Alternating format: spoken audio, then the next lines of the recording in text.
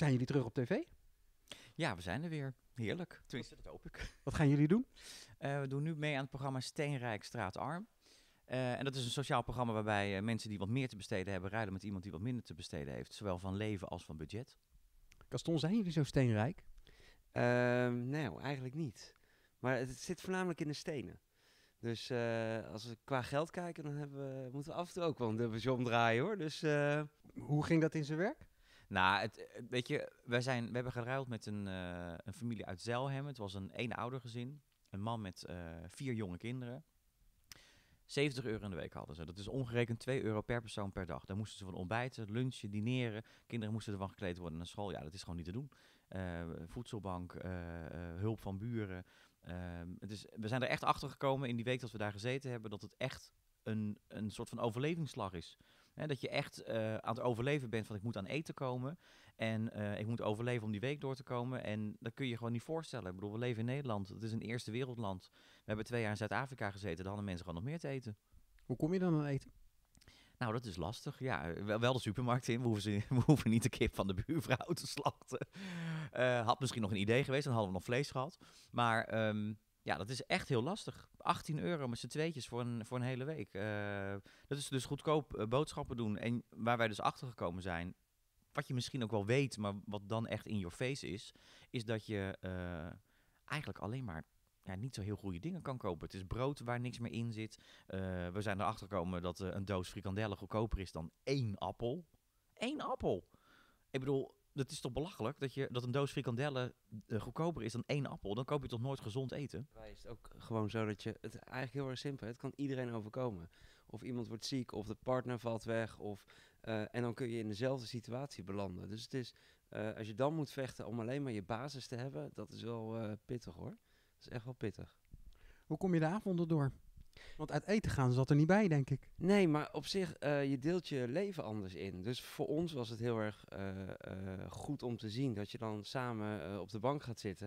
En dan komen er ook gesprekken. En waar we elkaar bijna nooit zien, ook al wonen we en werken we samen, ehm, zaten we opeens op elkaar. Zeg maar, en dan, dan, ga je praten en dan heb je goede gesprekken. En dat is ook wel weer mooi om te zien, zeg maar.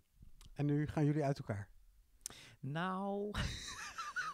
nee, dat niet. Maar, nee, maar het, is, het, het is wat Caston zegt. Je bent uh, uh, ja, tot elkaar veroordeeld, is natuurlijk een beetje raar. Maar ja, als je.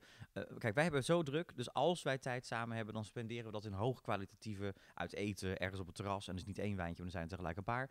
Um, maar ja, nu had je dat niet. Dus wij, ja, we hebben eten gekookt. Drie dagen macaroni.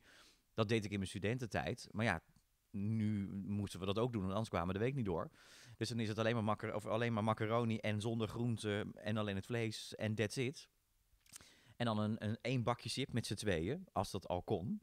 Um, en de hele avond mensen erg je niet, want ja, weet je, je moet, je moet toch de tijd uh, uh, doorkomen.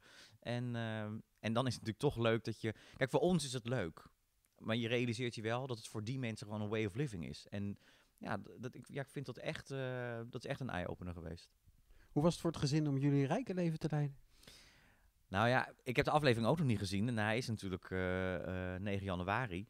Um, zij hebben wel... Ze, zij mochten alles doen en ze mochten alles kopen. Uh, en ik weet wel, en dat is iets wat me echt heel geraakt heeft... want dat heb ik later gehoord toen we het echtpaar... of tenminste toen we het gezin weer zagen. Ze hebben vier kinderen. Een van die kinderen wilde heel graag Nikes hebben. Um, toen stonden ze in de winkel en hij had ze in, de, in zijn hand. En toen vroeg hij aan die mevrouw, wat kosten ze? En toen zei die mevrouw, uh, weet ik veel, iets van 140 euro of zo. En toen vroeg hij aan zijn vader, hoe, hoe lang kunnen we hiervan eten? En toen zei zijn vader, ja, zes weken. En toen zei het kind, ja, dat wil ik ze niet. Nou, dat, ik word er bijna weer emotioneel van. Dat vind, ik, dat vind ik echt, weet je, als een kind van negen dan zegt, nou, dat wil ik ze niet. Nou, dat, dan breek je hart. We realiseren ons niet uh, dat we in Nederland heel veel mensen hebben die onder de armoedegrens leven.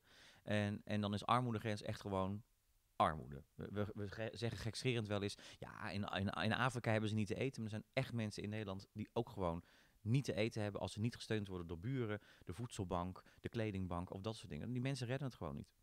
Het raakt je echt, zie ik. Ja, uh, heeft het nou ook je leven veranderd? Heb je besloten om ook na dit programma iets te gaan doen voor mensen die het wat minder hebben? Ja, we zitten er wel over na te denken om, om, een, om een programma te maken. Ook voor, vooral voor één oudergezinnen die, die het heel slecht hebben. Ehm, dus ja, misschien komt dat nog eh, eh, een keer erop. Ehm, ja, we, willen, we zijn wel bezig om na te denken wat we daar eh, iets, niet alleen wij, maar ook met andere mensen daar iets voor kunnen doen. Want het is, het is gewoon echt nodig.